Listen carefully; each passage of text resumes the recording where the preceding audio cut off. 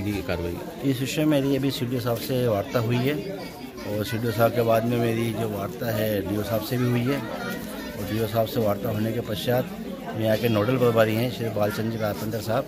उनसे भी मैंने निवेदन किया कि माहौल काफ़ी ज़्यादा गंभीर है और माहौल को देखते हुए तुरंत प्रभाव से इनको कहीं पर भी प्रतिस्थापित या प्रतिनियुक्ति कर दी जाए।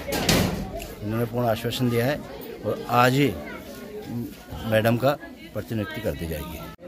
पाबंद भी कर दिया है आइंदा नहीं आएगा और बोल दिया मैंने उसको कि भाई आप आइंदा मत आना। ग्रामीणों में आज नाराज़गी जताई है स्कूल की तालाबंदी की है। आपने क्योंकि संस्थान में अगर कोई बाहरी व्यक्ति अगर कोई बदमाशी करता है तो क्या कम से कम पुलिस कार्रवाई क्यों नहीं है? सर ऐसा कोई बड़ा इशू था नहीं इस वजह से मैंने पुलिस का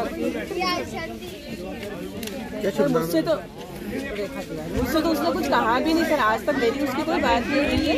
परसों ज़रूर मैंने उस बंदे को कहा मैंने कहा भाई यहाँ से चले जाओ। आपके सामने कोई ऐसी कोई नहीं घटना? सर कोई अभ- अभद्रता मेरे सामने न उसने मुझसे कुछ कहा आज तक इतने साल मेरे से कभी उसने बात नहीं करी सदमे उठो न मैंने उनसे बात करी स्टूडेंट जो बच्चे आते हैं उनके सामने भी कोई ऐसी बातचीत हुई क्या? नहीं हुई बात। मेरा कुछ भी लगता। है क्यों परेशान करता है ये बार बार आके आपको?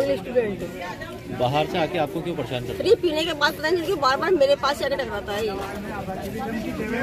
पता नहीं नहीं क्या चक्कर है इसका समझ में नहीं आता। बाकी मेरा उससे कोई भी किसी कोई संबंध नहीं है। कि उसकी एज अलग है मेरी एज अलग है मैं अच्छी फैमिली से हूँ और वो एक बिल्कुल ही क्या बोल रोड साफ़ व्यक्ति कितना कितनी उम्र होगी उसकी? स्टूडेंट अट्ठाईस उनतीस साल स्टूडेंट था आपका परेशान करने का क्या कारण है? क्या तो कुछ भी नहीं है। शराब पीता था सर बस पी के आता है बस वो। हाँ। क्या शराब पीता है क्या शराब है। तो लंबे समय से वो परेशान कर रहा है। आपने क्यों पुलिस से शिकायत नहीं की अभी तक?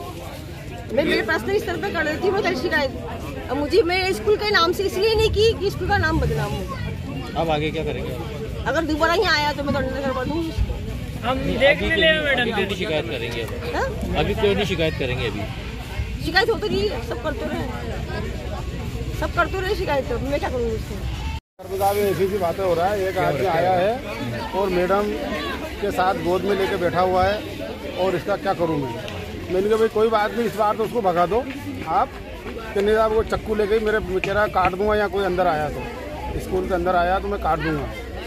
तो फिर उसके बाद में मैंने उसे की मैंने शाम लाल से मैंने कहा भाई आप लड़ाई झगड़ा मत करो कि हम गाँव वाला जिसको मार देंगे ऐसे कर देंगे। मैंने कहा मैडम को ही अपन भगा देंगे कोई बात नहीं है। मैंने कहा मैडम के पास आता है तो मैडम को मिलने वाला होगा वही आएगा दूसरा तो कौन आएगा? तो फिर उसके बाद में फिर एक बार और बीच में आ गया वो अभी इसके दो पाँच दस दिन पहले। आज क्यों आज तो गाँव वालों ने पूरा नहीं रखा है कि साहब हम स्कूल बंद करेंगे वो आने वाला है। हाँ। परसों को रोज आया था। परसों को रोज भी आया था।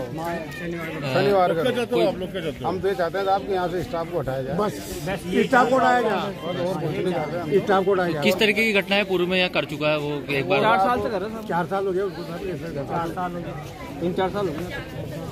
घटनाओं को आप ये बता रहे हैं गाँव वाला मेरे को साहब ऐसी इसी तरीके की घटना है सिड्डी के ऊपर बैठ जाता है। और कोई ले, कोई लेडी से बच्चे बच्चे को डर महसूस होता है नहीं डर नहीं साहब कोई लेडी से कहती है कोई लेडी से कहती है कि साहब यहाँ ऐसा काम यहाँ ऐसे बातें क्यों कर रहे हो? वो- लेडीज़ से वो यूँ कहता है ये मैडम भी कहती है कि तुम्हारे घर में लोग नहीं गए तुम घर जाओ ना तुम्हारा हमारा क्या देख रही है? तो क्या तो कुछ अभद्र हरकतें भी करते हैं? हाँ करता है ना। तो जब भी तो लेडीज़ हो कहता है कोई आपका आप घर जाओ ना। आप यहाँ क्या देखती है? हमारी तरफ़ क्या देखती है? आपको लोग नहीं है क्या? अब क्या ग्रामीणों की आखिरी मांग है क्योंकि आपने तालाबंदी कर दी है तो गाँव वालों की यही मांग है साहब कि स्कूल के अंदर स्टाफ को चेंज कर दिया जाए और हमारा तो कोई आपत्ति बस। यही आपत्ति है।